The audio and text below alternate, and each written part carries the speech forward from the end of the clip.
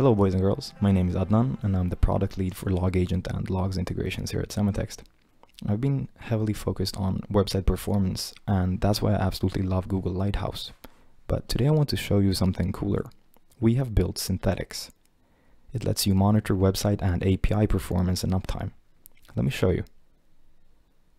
After signing up, you go to the Synthetics page and to the apps, create a new Synthetics apps.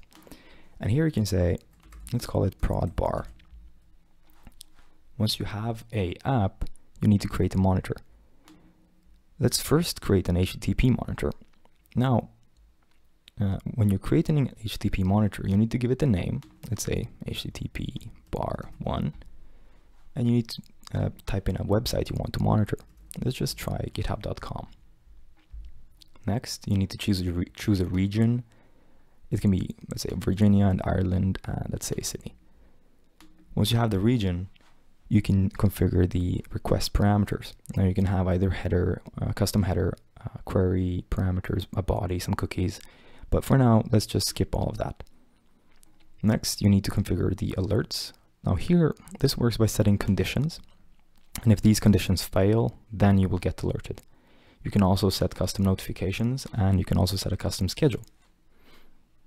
But for now, let's just test this, uh, this monitor and see if it works. Okay, so the test went fine. It all passed, so let's go ahead and create it. Now, if you open up your monitor, you can see an overview of all of your runs, or you can go into runs and see them individually. Now, to test this, you can go ahead and run the, run the test right away. Let's say we want to run it from Ireland and this will trigger your monitor manually. And here we go.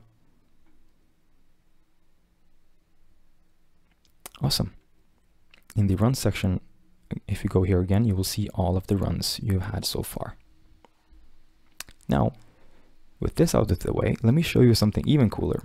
We have uh, the browser monitor as well. So let's go back to the app and let's create a new monitor, but this time let's pick the browser monitor and let's give it a name. Now this can be, say browser bar one.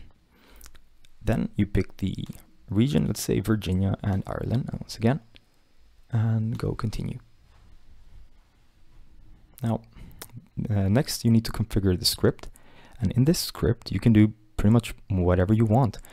Um, for simplicity, let's just say that we want to go to a page and let's just add GitHub once again. But uh, if you want to do something more complicated, we have examples of loading web pages, navigating to pages, doing searches. So this is super, super cool if you want to do something more complicated. But for now, let's just do uh, page load for github.com.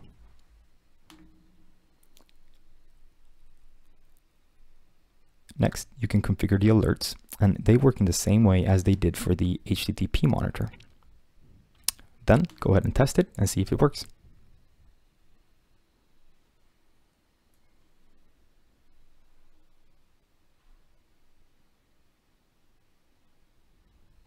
Once it's finished running, you see the conditions were met, you can see the resources, and you can see the screenshot.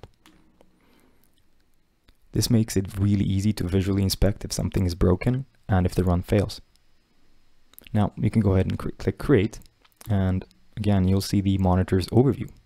Go ahead and open the browse monitor and again you can see the overview, you can see runs and you can see resources.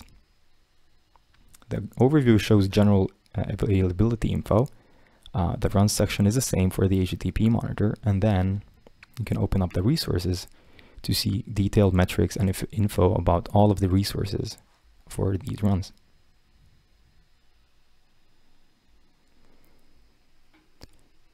Now I want to go back to show you a overview for failed runs. Now, if you have an app and you have a monitor that's failing, you're going to have a quick filter for failed runs as well. So this is easy for you if you want to do debugging.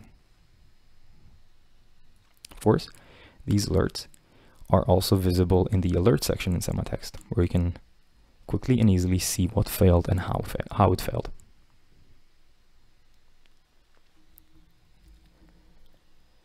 that's it. That's a quick overview of Sematext Synthetics. I hope you enjoy using this as, as much as I already do. And if you do like it, you can go ahead and invite your friends as well. If not, feel free to share this with your friends on social media. Until next time, stay curious, guys.